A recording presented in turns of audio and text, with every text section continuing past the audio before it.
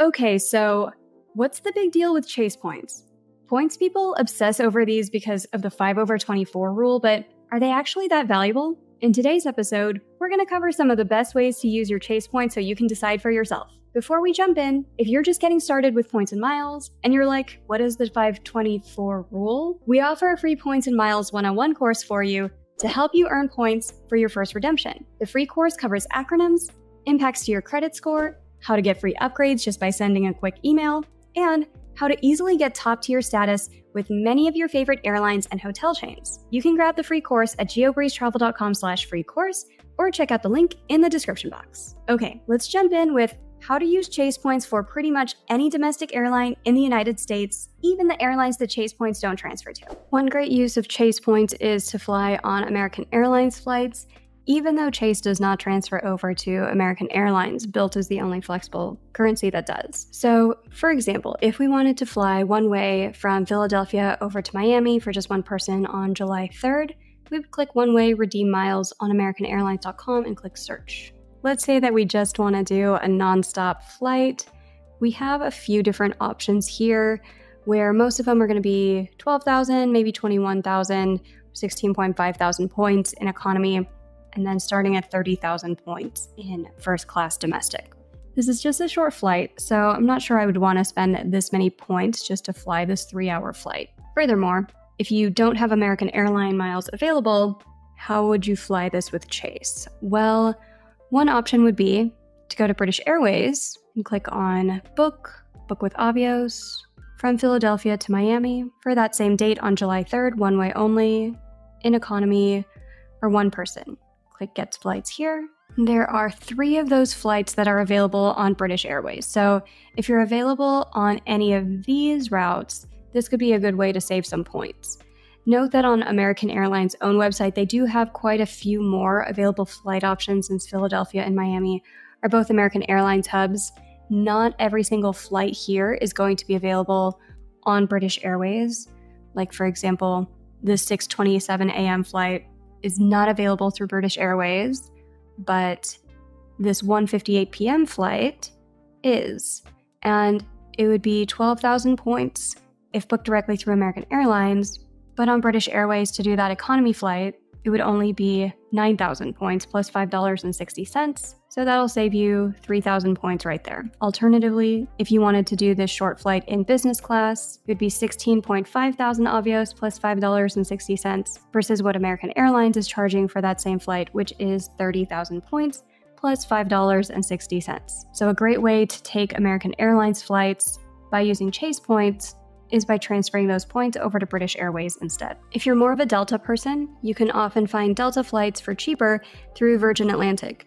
Chase points don't transfer over to Delta, but they do transfer to Virgin Atlantic, and you can often get the same flights for way fewer points. Virgin Atlantic has this free resource, the Reward Seat Checker, and you can search for flights with Delta Airlines here. Technically, it's only going to show you some UK airports, but here's a trick you can pick any airport you want and then say you wanted to fly from London to Atlanta sometime next summer. Click check for reward seats. And then from here, you would go up to the URL, and then instead of your origin being London Heathrow, you can change this to whatever you want. Let's say Minneapolis to Atlanta. And here, it'll show you which dates have good award availability on Virgin Atlantic for these Delta flights. So July 3, 4, 5, 11, 12, a few other dates tend to have good availability. On July 18th, there is low availability, and for some dates like July 9 or 10, according to this chart, does not have any partner availability on Virgin Atlantic with Delta planes. So if we like one of these dates, let's say that we like July 12, we just make a note of the date that we like and then click book my reward ticket. This will pre populate the route for you on virginatlantic.com from Minneapolis over to Atlanta. Let's say we just want to do one way for now, and this would be on July 12. For one passenger, always show flexible dates, click on points, and then economy is fine for now. We'll click go. And we do see that flight is available for 8,500 points plus $6 in taxes and fees on July 12.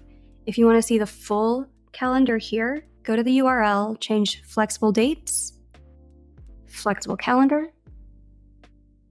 And then here you can see all of the different dates where there is availability to fly this route from Minneapolis over to Atlanta for only 8,500 points, plus $6 in taxes and fees in economy.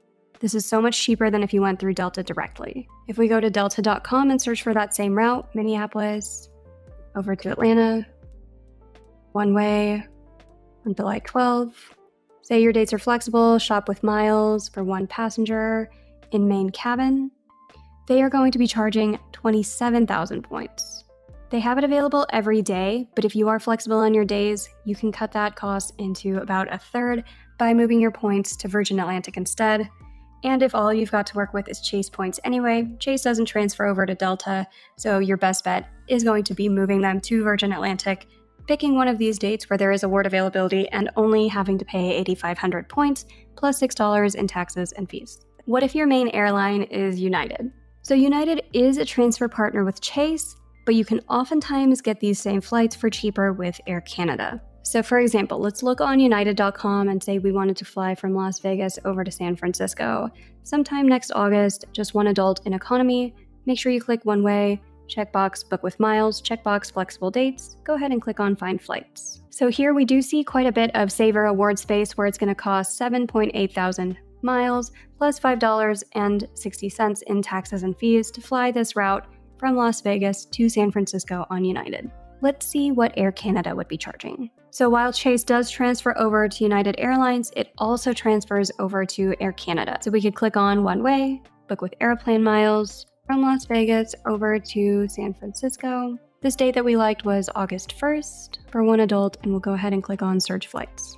And here in economy class, we do see that you can get that exact same flight from Las Vegas to San Francisco for only 6,000 points plus $47 Canadian. So if you are fairly points poor, Air Canada would be the better option, where you're paying fewer points.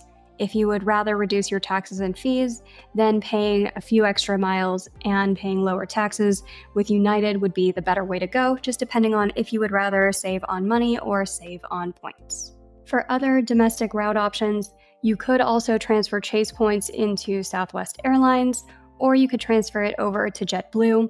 These airlines don't have some kind of alliance partner where you might be able to get the exact same flight for cheaper, like we were able to show with American Airlines and British Airways, or with Air Canada and United, or with Virgin Atlantic and Delta. If you wanted to move your points over to Southwest or JetBlue, it would just be a one to one ratio to do that. I don't personally love moving points into Southwest or JetBlue because it's very revenue based, where every point that you move over you're almost always going to get 1.5 or 1.6 cents out of that point, and we can usually get better than that through some different transfer partners. However, if you're in a pinch, you need some Southwest points, you need some JetBlue points, and you would rather just save money on those cash flights and do a pretty simple redemption, Chase points are great for those as well. If you're enjoying these types of step by step tutorials so far, please let me know by clicking that like button, leaving a comment, and subscribing to the channel for even more points and miles tips every week. We release a weekly video with these types of step by step tutorials and also a weekly episode of the GeoBreeze Travel Podcast, where I interview diverse points enthusiasts from all walks of life about the types of strategies and points that don't always make it to page one of Google. So, in that last set of tutorials, I mentioned that I wouldn't really recommend moving Chase points to United. Well, that's true except in one instance, which can be really valuable for getting a free flight across an entire continent. Here's how. There is one case where it might make sense to transfer your Chase points over to United, and that would be if you want to do a United Excursionist perk, which you can only do if you are booking this kind of itinerary with points through United's website. Here's how to get this set up. So, first, you'll go to united.com and then you'll click on this advanced search button. From here, you want to say flight only, book with miles, multi city. There are some rules that you need to go through in order for this to work. So, first of all, assuming you're based in the US, your first flight has to start in the US and your last flight has to end in the US. And then your middle leg, which is the one that you're going to get for free, has to both be outside of the US for both the beginning and end of the flight, and they have to be in the same region as defined by United Excursionist. Europe is the easiest one because pretty much everything from London all the way to Istanbul, Turkey counts as Europe. Africa is split into two regions where there's Northern Africa and then Southern Africa, which is what we're going to do here between Johannesburg and Accra. Asia is split into multiple regions, with Japan being its own self contained region. South America is split into Northern South America and Southern South America. We have an entire training on how to do United Excursionist perk, which I will link right here. But for today, the example we're going to do is from DC over to Johannesburg. And let's change this to August 6th. Johannesburg over to Accra, Ghana, which we will do on the 13th. And then Accra back to Washington, D.C. on the 17th. We'll just do this in economy for now, and then let's go ahead and click on Find Flights. So here we're going to select the first leg, which is from Washington, D.C. over to Johannesburg. Let's say that we like one of these. Let's go ahead and pick this one, which would go from IAD over to the New York region and then over to Johannesburg. And then if everything is set up correctly so far, the second leg should zero out, where you can get your flight from Johannesburg over to Accra, Ghana for zero points plus some taxes and fees. These would both be operated by Ethiopian Airlines, where it's going to route from South Africa through Ethiopia all the way back into Ghana, and you don't have to pay any points for this. So, this is your free flight where you can go ahead and select one that you like. And the calendar shows a few other dates that you could pick from as well. And then from there, all that's left to do is pick on the last leg of your flight. You could go from Accra through Egypt, you could go through Brussels. Let's say that we like this one. And so, this entire itinerary from Washington, D.C. to South Africa to Accra, Ghana, all the way back to Washington, D.C., would only cost 90,000 points plus $208 in taxes and fees. However, it gets better. Remember, the rules of the United Excursionist perk are your first flight has to start in the US, your last trip has to end in the US, and then your second leg, which is the one that you get for free, has to start and end outside of the US and be completely contained in one specific region, like Southern Africa. However, your itinerary does not have to be continuous. Like, let's say that you found a really good business class flight deal from JFK over to South Africa, and then you found another one from Ghana back to New York. But you have no way to connect those two different good flight deals that you found somewhere else. That is where the United Excursionist perk can really come into play. So here's the level 2 hacky hack of this. You're still going to go to United, click on the advanced search, flight only, book with miles multi city. Let's say that you are based in Washington, D.C., but the only flights that you could find over to Africa were from New York. So let's go from Reagan and take a domestic flight over to JFK. We're going to keep this one the same between Johannesburg and Accra. And then you need a way to get back with your positioning flight. So again, we'll need a flight from JFK back to Reagan. Now, let's do this in business class because let's see if we can get that second leg completely for free in business class. Let's go ahead and find flights. So for this first leg, we'll pick a positioning flight that we like. Uh, let's say that we like this business class flight for 30,000 points plus $5.60. I know it's only an hour and a half, but I'll show you why you want to do this business class flight to start with. Now, since your first leg was in business class, your free leg, which is the second leg, can be in business class for free, or at least zero points plus a few dollars in taxes and fees. So you could do this 14 hour itinerary from Johannesburg through Ethiopia into Accra, Ghana for zero miles plus $40.90. And now your last leg doesn't have to be in business class. You can just take this one hour flight back in economy where we see some saver space for about 9,000 points. So now here's your full itinerary. You're flying from Washington, D.C. over to New York in business class for about 30,000 points. Your second leg, which is in business class, is free, and then your last leg, which is an economy, only costs 9,000 points. So for all three of these flights, you're only paying 39.2 thousand miles plus $52.10 in taxes and fees. Keep in mind, you do have to take this first flight. If you miss this first leg, the second leg and the third leg are going to get canceled, and you will not be able to take your free flight from South Africa over to Ghana. However, the third leg is completely optional. In this particular example, you will want to take it because this imaginary person is based in Washington, D.C., and needs a positioning flight back home anyway. But if you are just interested in taking this free flight, this third leg is optional. You do have to pay for it with points, but it's 9,000 points. And if you would rather not take this last leg and just put it on the itinerary so that you can get everything to zero out in the second leg, that is absolutely an option as well. Not only do points people love recommending Chase cards because of the 5 over 24 rule, but they also make it really easy to earn 5x almost anywhere. From October through December of 2023, the Chase Freedom Flex lets you earn 5x on purchases made through PayPal. So you can link up your Chase Freedom Flex to PayPal and pay almost any transaction that way to earn 5 points per dollar. The Chase Ink Business Cash also lets you earn 5x on internet, cable, phone, and office supply stores.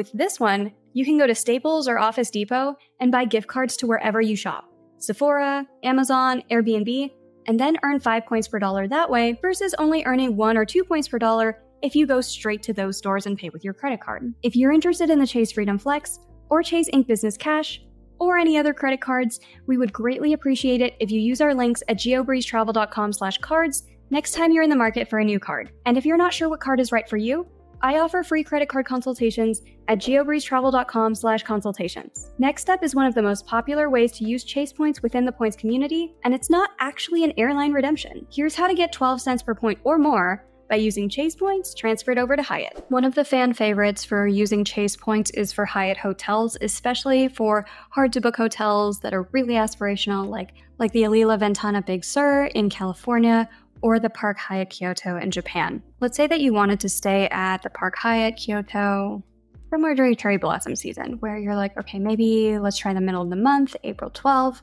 Make sure you click on use points and then find hotels. This is a really, really popular hotel. It is absolutely gorgeous. I've stayed there and it's just so picturesque right in the old town of Kyoto and it's completely luxurious. But there are only about 40 rooms on property. It's a pretty small hotel, so getting one of these hotel rooms on points can be a little bit tricky just with how limited their availability is. For example, on this date that we picked, April 12th, there is not any points availability. You could click on the points calendar to see how much they're charging for any particular day, but this just shows which days are peak days versus off peak days versus standard days. And unfortunately, this doesn't really show which days are available or not. So here's a trick for how to see which days actually have points availability. I recommend using the website Awayz, A W A Y Z, and you can also access this for free through the free Bilt app. But what you would do is search for the particular hotel that you want, Park Hyatt Kyoto, for the date that you want. It's going to say there's no availability to book for the selected dates, but if you do click on the hotel on the map, and then click on this green button, and then click on award availability, it will show you the entire calendar for when there is points availability and when there's cash availability and how much it's going to cost in cash versus points. So, for example, on the 12th, there are no points rates left. If you want to stay at this hotel on that particular day, you're going to spend more than $2,000 to do so for one night. But if you are flexible with your dates and you're okay staying at the end of April, the cherry blossoms might already have bloomed, but they do have this date available on April 29 for 40,000 points or on the 30th for 45,000 points, saving you $1,700 per night on a standard room. Let's confirm that we can see this on Hyatt's website. So here, we would edit our dates to instead say April 29. Go ahead and click Update Search. And as promised, we do see this one king bed for 40,000 points at the Park Hyatt Kyoto on April 29. And the Awayz site makes it really easy to see where there might be availability versus where you are just not going to find any availability. Another really popular way to use Hyatt points, which can be transferred over from Chase, would be to get some really, really luxurious suites for not that much money and not that much points. So, for example, let's say we wanted to stay in Dubai sometime far out in the calendar. Let's pick August 7. Make sure that you check box the use points box on World of Hyatt and then go ahead and click on Find Hotels. And let's say we want to stay at the Grand Hyatt Dubai, which normally would be only $120 per night because August is hot in Dubai. So if you wanted to just do a cash rate there, August is a great time to do that. Um, you're going to want to stay inside where it's air conditioned, but it is only $120 on average per night or 12,000 points per night. So highly do not recommend using points for this but let's look at the different rates that we can get. So, like I mentioned, don't get a standard room for 12,000 points if it's only going to cost $120, because then you're only getting one cent per point, which is not a good rate at all with Hyatt. So, if you do want to stay in a standard room, just pay the $120 cash rate. But if you want to stay in a suite, you can stay in something like this magnificent Prince Suite for way cheaper than you would expect. Click on Select and Book, and so you could spend 24,000 points, you could spend 12,000 points plus $753, or sometimes they're going to have this special rate, the upgrade premium suite rate, where instead of 12,000 points and $750, you could just pay 9,000 points plus $171. It is the exact same room. You just have to make sure that they have this type of special rate available. It's available to everyone. You don't need to be a globalist or anything. But if the hotel does have the option to do an upgrade premium suite, take it because 9,000 points plus $171 for this incredible suite is a really good deal. How good of a deal exactly? Let's switch off the use points button and look at the suites. And if you wanted to book that Prince Suite outright, even if it was a member save more rate, it would be nearly $1,200. And that is if it is full prepayment with no refund or no charges. Personally, if I'm paying $1,200 for something, I would like to have some kind of money back guarantee. And so the member rate for that would be $1,340 per night.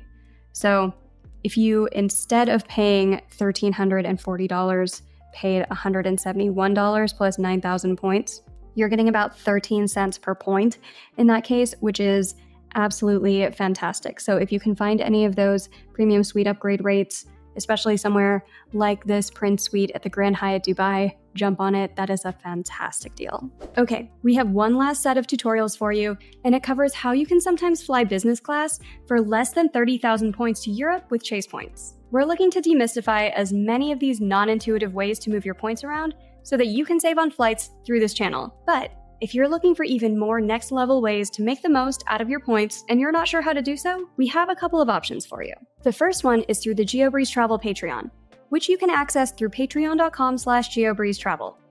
Each month, we prepare a members only video with personalized step by step tutorials based on the exact departure airports, destination airports, and points currencies our members request. We also host a group coaching session every month where we often have special topics and deep dives into different programs, and you can ask any questions that you have about earning points, redeeming points, credit cards, or anything else in the open forum group coaching. And we have a lot of people who join the $5 level just to say, thanks for the free content on YouTube, Instagram, the podcast, and I am all here for that. Thank you, I appreciate it so much. The second option is for business owners or individuals who spend more than $100,000 a year on expenses. If that's you, We'd love to chat with you about our points portfolio management offer, where we can show you how to get some really incredible luxury travel with the amount of points that you can earn with that level of spend. You can book a free intro chat with us at geobreezetravel.com slash intro call. Okay, here's the play. If you can line up booking your flights with when Chase is offering different transfer bonuses, you can make your points go much further. Here's an example. Another great way to use Chase points is whenever there is a good transfer bonus. So I like this tool, the upgraded points.com transfer partner tool. Let's say, let's look at Chase points for all partners and see what transfers are available and who has transfer bonuses in place right now. So I'm recording this in September, and it looks like there are Chase transfer bonuses.